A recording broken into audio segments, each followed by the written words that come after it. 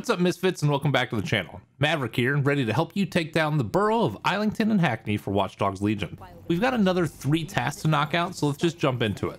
Head over to the Old Canal Warehouse for some good old-fashioned sabotage.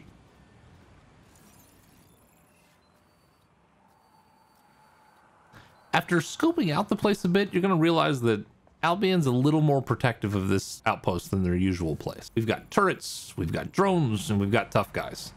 If you've unlocked some of the tech upgrades to hack these, feel free to just get involved, especially with the turret. Towards the northwest end of the compound, you're going to see a circuit panel interact with to right next to a gate. I set it up for a quick escape in case I need it. Your main target is about halfway up the construction site. I climbed to the top of the site to hit up an ETO skimmer, and then I just rode a construction drone down to the, uh, the target site because because you know I could. Sabotage the equipment, and you've knocked out your first task.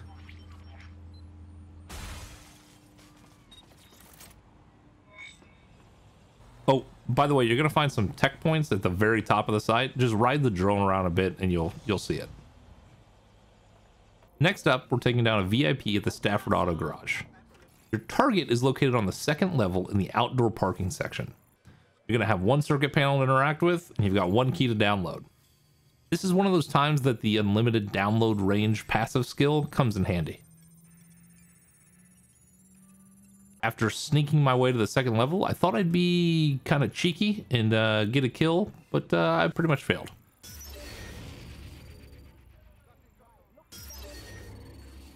Those cars are locked into place somehow, so I had to turn up the ringer on his phone and just went straight fisticuffs. Clear out, and it's on to the next mission. Last up is an evidence collection mission that was pretty frustrating for me at first. I'm not sure if this is the quote-unquote book way to complete it, but it was better than running around looking for any grades, and was just easier this way. So Head over to the Evergreen City Garden and use the CCTV camera to call in a construction drone. You're going to want to equip your spider bot, which if you don't have, you should be able to afford from the earlier tech points. Drop the construction drone to the ground, pull up your spider bot, hop it right on top, and then just fly your construction drone over to the gap where the rafter and the roof are. Take over the spider bot and jump on through. Once in, you're going to interact with the terminal, pick up the evidence, and you're all set. Now it's off to meet your contact and complete the final mission for the Subrising. You'll find your contact at the World of Tomorrow.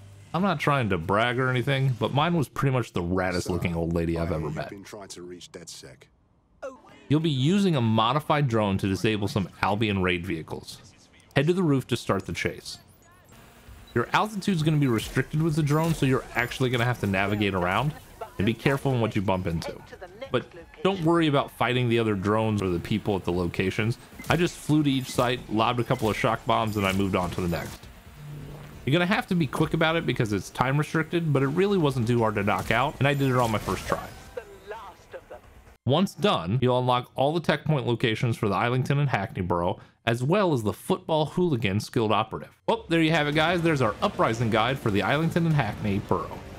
If this was your first time stopping by the channel and you enjoy gaming strategy content, feel free to subscribe. To all my other misfits out there, take care.